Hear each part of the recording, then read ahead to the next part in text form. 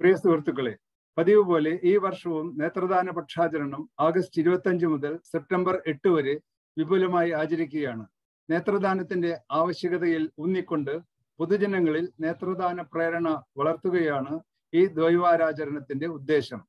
നേത്രപടലാന്ധതയ്ക്ക് കാരണങ്ങളായ അസുഖങ്ങളെയും അപകടങ്ങളെയും പറ്റി പൊതുജനങ്ങളിൽ അറിവ് വർദ്ധിപ്പിക്കുകയും എല്ലാവരെയും മരണാനന്തര നേത്രദാനത്തിന് പ്രചോദിപ്പിക്കുകയുമാണ് ഇവിടെ ലക്ഷ്യം. എല്ലാ രാജ്യക്കാരും എല്ലാ മതവിഭാഗങ്ങളും ഈ യജ്ഞത്തിൽ പങ്കുകൊണ്ട് നേത്രദാനം മഹാദാനം എന്ന് ലോകമെമ്പാടും തെളിയിച്ചിട്ടുണ്ട്. ഈ വർഷത്തെ നേത്രദാന പക്ഷാചരണത്തിന് മുമ്പത്തേക്കാൾ പ്രസക്തിയേറിയിരിക്കുന്നു.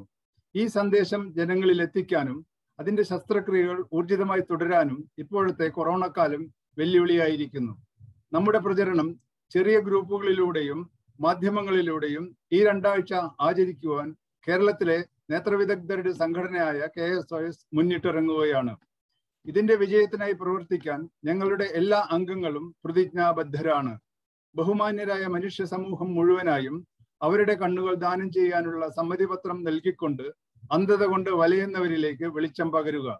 നേത്രദാനത്തെക്കാൾ വെളിച്ചത്തെക്കാൾ വലിയൊരു സമ്പത്ത് ദാനം ചെയ്യാൻ ഇല്ല തന്നെ. നിങ്ങൾക്കെല്ലാവർക്കും കെ എസ് ഒ എസിന്റെ നേത്രദാനാശംസകൾ.